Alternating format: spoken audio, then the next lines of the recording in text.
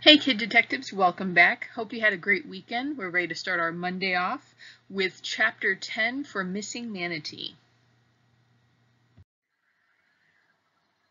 Just a reminder before we get started, please have your uh, detective notebook or a piece of paper out. That way you can jot down some ideas, uh, maybe some questions that you might have, okay, some things that need to be solved. Uh, we're going to be doing this for the rest of the year. It's nice and handy to maybe even uh, mark it off as your missing manatee section. Okay, so grab that notebook so you're ready to write down some clues. And before we get started, just want to remind you about the elements of mystery. Today we'll be mostly focusing on our suspect, Dirty Dan, and we have a clue, but it's not a physical clue. I'll describe it a little bit more in the next few slides, but basically we're looking for a reaction from other characters about Dirty Dan. Hey guys, so before we start chapter 10, I just want to go over our learning target. Um, it's really simple. We've been going over this for a long time. We also did it at the beginning of the year, but I just want to review. What you should be focusing on today is our Dirty Dan character again. But let's focus on Dirty Dan and how his son reacts to him. So Blink is going to come into um, the scene and Blink acts a certain way. And I really want you to focus on why does Blink feel this way towards Dirty Dan? And that is really all you're focusing on. Chapter 10 is super short. It's only five and a half pages. So only thing I want you to focus on is how Blink reacts to Dirty Dan. Okay? All right, so enjoy the reading. Hey guys, so before we get started, I'm going to do a little recap for chapter 9 just so you have it fresh in your mind. So what happened with the last chapter, uh, Dirty Dan took Skeet to a secret fishing spot. So they had been fishing for a while with no luck, and Skeet was not feeling really good about his fishing skills. Um, Skeet seemed to get better, okay, and he was starting to be able to, to uh, spot tarpon, and uh, as he was casting his fishing line, he was feeling a little bit more confident.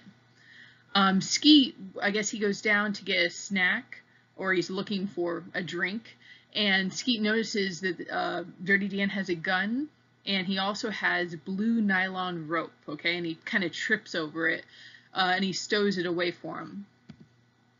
Then Skeet uh, caught his first tarpon. Okay, so that's a big part of this. He finally caught his tarpon.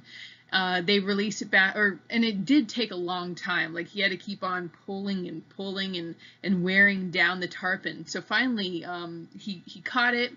He uh, they released it back into the water. Um, but unfortunately, he didn't have a photo uh, or like a camera to take a, a picture or anything. But luckily, the whole experience of catching that fish was good enough for him. Um, when we start this next chapter, they're still on the boat, but they're about ready to go in. Okay, so that's where we're headed off from there. So before we get started with chapter 10, we're going to go over some vocabulary time. But like I said it before, chapter 10 is only five and a half pages long. So we only have two vocabulary words to go over. The first vocabulary word is hindrance. Hindrance is a thing that provides resistance, uh, delay, or obstruction to something or someone. Okay, and I don't have any pictures for you today for both the vocabulary words, but we're going to talk about where it is in the book. So hindrance is on page 98. And what it talks about is, I'll start here in 97. It says, I shouldn't have been surprised to Dirty Dan's way of thinking. A radio wasn't a good thing to have in case of emergency. It was a possible hindrance to landing a fish. That's why he was the tarpon man. Okay, so what's that saying is that Dirty Dan is so obsessed with his fishing that he only cares about his fishing that he doesn't even care about having a radio on a boat. He's just like, eh, that's going to stop me from getting my fish. So it's a hindrance. It stops him. Um, the other word that we're going to go over is attentive, which is on page 101. So um, Skeet has gotten back. He's at Larry's Marina, and he's kind of uh, boasting, which vocabulary word from Charlotte's Web, or bragging about his catch. And uh, let me read the little bottom part right here. Um, he says, they were as attentive an audience as I could have hoped for. And they had a lot of questions too. Okay, and attentive means they were paying close attention to something. So they found his story to be super interesting, and that's what attentive means. You're very, you're paying attention. It's, you know, you can't keep your eyes off of it. All right, so enjoy this reading today. It is super short, and I'll talk to you when we're all done. Chapter 10 We sat for a while talking about the fish and the fight, reliving every moment for the sheer pleasure of it. At around 3.30, Dan said we'd better head in. I was putting away my rod when I had a sudden idea. Hey, Dan, could we get on the radio to Mac and tell him about my fish? Dan took a sip from his bottle. No radio, he said. I lost a big tarpon one day when my fly line got tangled on the antenna. I was so mad I ripped the darn thing off. He grinned. Much better that way. I shouldn't have been surprised. To Dirty Dan's way of thinking, a radio wasn't a good thing to have in case of an emergency. It was a possible hindrance to landing a fish. That's why he was the tarpon man. No sweat, I said, thinking I was glad Mom was at work, so there was no chance of meeting her at the dock when we got back. If she knew I'd been out all day with no radio, no food, no fresh water, not to mention with a bottle of whiskey and a gun in the boat, well, I didn't even want to think about how mad she'd be at me and Mac both. No way I wanted to be the cause of another fight. Plus, I'd never be allowed to go fishing with Dirty Dan again. That was for sure. Thinking of Mom reminded me that I was supposed to wear a life jacket when we were running. Guiltily I realized I hadn't worn one on the way out. I'd have put one on for the ride home, but no surprise this time, there weren't any. I peeked at the bottle of whiskey and saw it was pretty near empty. Uh-oh. Was Dan drunk? He didn't seem to be. I watched him stow his push-pole and let the engine down. He moved around the boat quickly and easily, not stumbling or staggering like drunks in the movies. The whiskey didn't seem to have an effect on him, so why not just drink water, I wondered. Dan asked, Ready to roll, Skeet? His voice sounded normal, too, not slurry and mumbly like a drunk's. I gave a mental shrug and said, Ready. We took off, zooming across the flats, and all my worried thoughts blew away with the breeze. I could hardly believe it. I'd caught a tarpon. At Larry's I helped Dan secure the boat. I was thanking him for the thousandth thousandth time when Blink walked up. Blinky was by his side, a ball in his mouth. Hi, Dirty Dan. Hi, Skeet, Blink said. Instead of his usual smile, though, Blink wore a worried expression. His eyes blinked even faster than normal, and his gaze flew anxiously from Dirty Dan to me and back to Dan again. He sounded nervous. I noticed he hadn't reached into his pocket for the flipping quarter. Hey, Blink, I said. What's up? Dan smiled and gave his son's shoulder a pat. How's it going, Blink? Blink seemed to relax a little at that, but he asked, Is Dirty Dan mad? Mad? said Dan. He looked at as puzzled as I felt by Blink's question. Was Skeet bad? Did Dirty Dan have to get mad? Blink went on. An odd expression passed over Dan's face. Then he smiled quickly and said, Heck no, Skeet here got himself a tarpon. What do you think of that? Skeet got a tarpon? Blink repeated. repeated.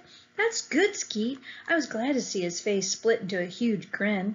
Skeet got a tarpon. I sure did, I said. He was a beauty, and believe me, nobody's mad, except maybe the fish. Blink got a big kick out of that. He kept laughing and saying over and over, Skeet caught a beauty, and nobody's mad but the fish. Then I saw him reach into his pocket before he could say it. I did. Want to flip?